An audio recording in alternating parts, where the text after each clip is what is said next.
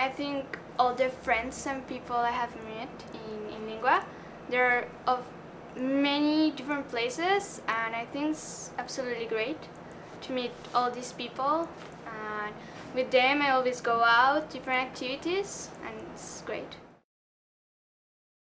The inlingua is great, they always have good times here and the teachers' classes are interesting, fun and it's good.